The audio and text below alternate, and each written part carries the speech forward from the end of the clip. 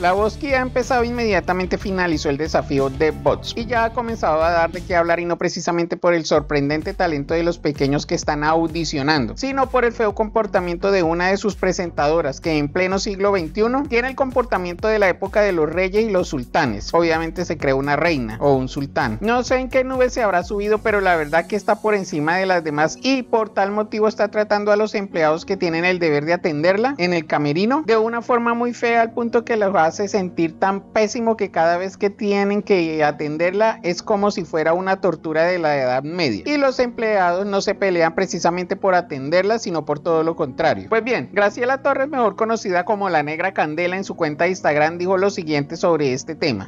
Que las señoras en Caracol Televisión, que lo atienden a uno con mucho cariño, muy amablemente, y le llevan su cafecito le llevan su agüita aromática, no quieren ir a llevarle los pedidos a Laura Acuña.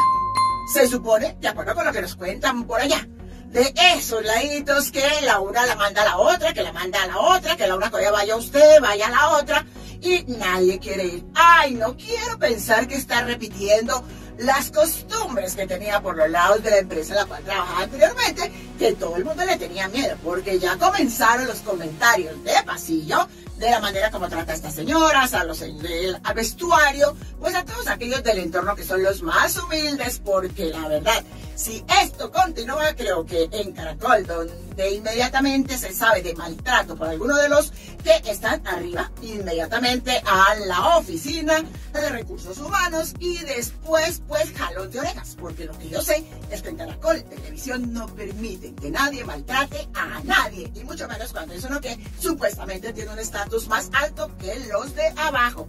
Bueno, fue muy mal hecho de parte de Laura Cuña el desprecio y el maltrato de la presentadora con los empleados que muy amablemente la atienden. ¿Acaso qué se cree? Me pregunto yo. ¿Será que Laura Cuña se cree la diosa del Olimpo? A los que los humanos deben atender como tal, pero los humanos no son dignos ni siquiera de poderle hablar a la señora. Si lo que dice la negra Candela es cierto, debe ser muy pero muy feo lo que le hace Laura Cuña a las empleadas como para que ninguna quiera atenderla. Si las cosas son así, ojalá realmente le llamen la atención a Laura Cuña porque nadie merece ser tratado mal en su trabajo, sea cual sea el puesto que ocupe y las funciones que tenga que cumplir. Aunque en lo personal creo que en el caso de comprobarse lo que dice Graciela Torres, deberían despedir de inmediato a Laura Cuña y reemplazarla por una mujer más joven, bonita y por supuesto más humilde. Me gustaría que fuera Melina Ramírez. Pues según dice la misma Graciela Torres, no es la primera vez que lo hace y no ha aprendido la lección. Sigue siendo tan prepotente como siempre.